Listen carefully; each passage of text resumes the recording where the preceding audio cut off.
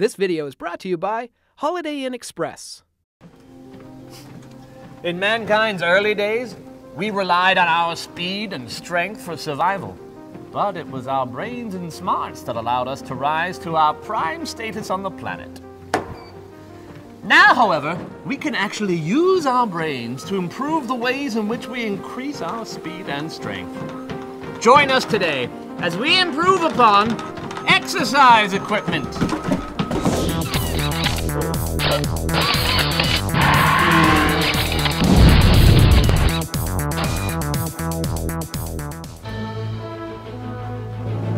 The science of improving exercise often has more to do with a psychological understanding of what motivates us to work out and improve our physical health. Take this fellow.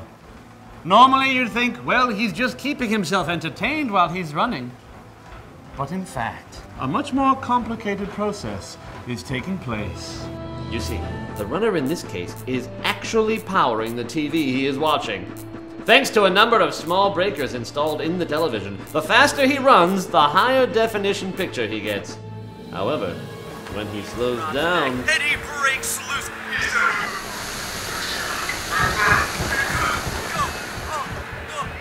See what a little motivation can do? And just wait till you see what happens when we link the temperature of the refreshments to how fast he's running.